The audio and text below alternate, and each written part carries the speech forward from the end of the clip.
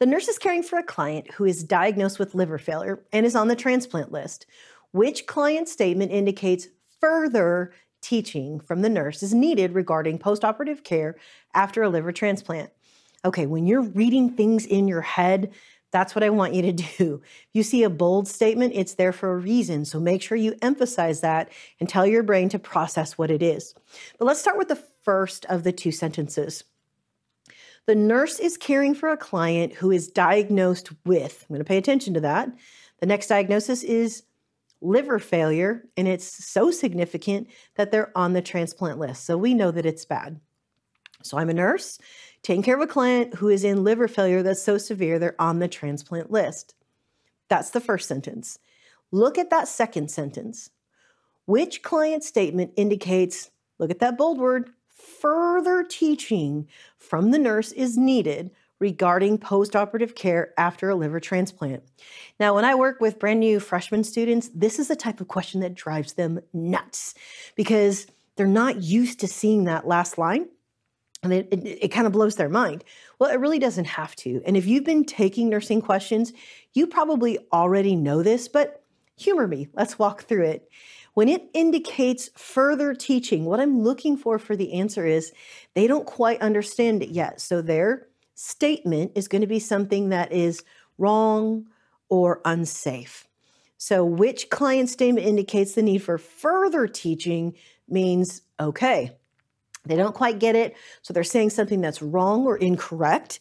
And the topic of this question is post-operative care after a liver transplant. So you're going to see four statements, right? Anytime you see something like this, you're going to see four statements. This could also be a select all that apply question, but this one is not that, okay? So we've got four options coming up in just a minute when we show you the answer choices. You're looking for the one that indicates the need for further teaching. So, four times, you have to be really particular about saying, read statement number one or start wherever you want, but let's start with number one.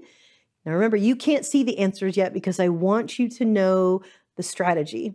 When you look at answer choice number one, you're going to read it and then say, Does this indicate the need for further teaching? Number two, does this indicate the need for further teaching? Number three, does this indicate the need for further teaching? So I know that seems very tedious. And if you're just learning these skills, it's going to feel like you're swimming through jello. It's going to seem so slow. That's okay. Slow and steady wins the course. Okay, that's what you want. So you want to make sure if you're slowing down, you're observing things that you may have been missing in other questions. And as you practice more questions, you'll come up to a normal speed. But we still don't want you zipping through questions because that's when students make the biggest errors. So you have your, your um, scratch paper there. You have just the numbers, number one, number two, number three, and number four written on that. Please use that part of your scratch paper as you're going through each one of these four options. When you eliminate an answer, cross through the number and say why you did. When you keep an answer in there, brilliant, say why you did it.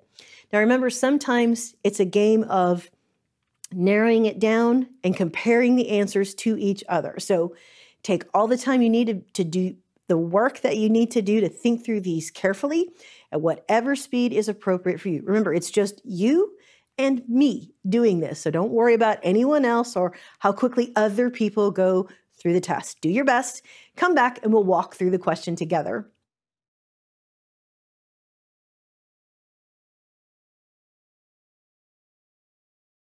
Welcome back. So, how did it feel going through that process?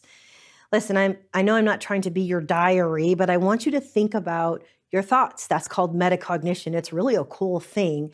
But oftentimes when we're nervous or when we're stressed, we don't pause and do that. Doing that while you're practicing taking test questions is really going to help you identify what's the best investment of your time to do better. See, nobody's got time to be just studying for nine hours a day.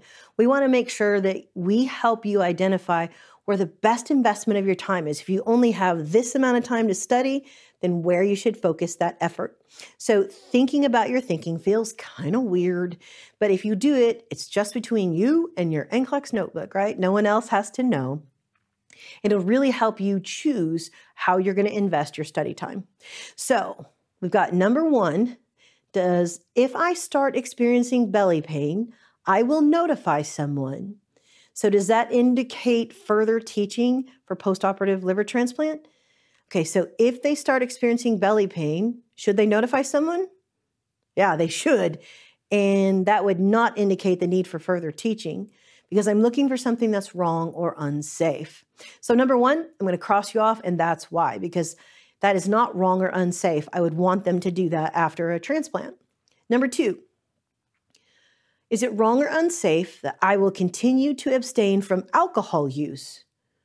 That is not wrong, and that is actually the safest, right? They've got a liver transplant, it's just getting settled in there. Abstaining from alcohol is going to give you a much better shot at that liver getting going and doing what we need it to do. So, number two, I am going to get rid of you, and that's why I want you to abstain from alcohol. That is not an unsafe statement. So I know that further teaching is not required. Now, number three, a slight fever is expected, and I'll take acetaminophen if I get one. Now, those are not two separate statements that don't go together. So, um, a slight fever is expected. You might be like, uh, I'm not sure, but I'll take acetaminophen if I get one.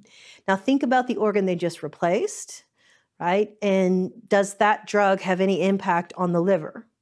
Yeah, sure does. That's where it's metabolized. So I'm going to leave that one in. See, I'm not convinced that's the right answer, but for now, I don't have a strong enough argument to eliminate it. So I'm just going to say, all right, you're here for a minute, and then I'm going to go on to the next one and see what I think. I'll be on medication for the rest of my life. Does that indicate the need for further teaching after a liver transplant?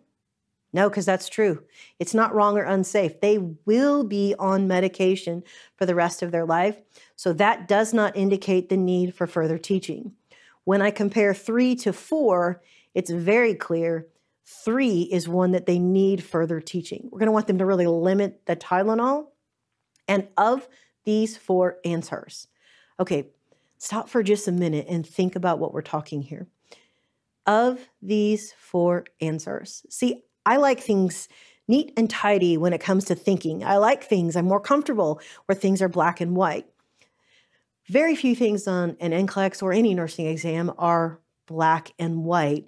So I want you to think about this is like you're playing a game of cards and I dealt you four cards. You have to play the hand you're dealt. It doesn't really do any good for you to argue, say that's not a great answer. I would have worded it differently, blah, blah, blah. Again, nobody cares except us, right? Just except the one who's yelling at their computer screen.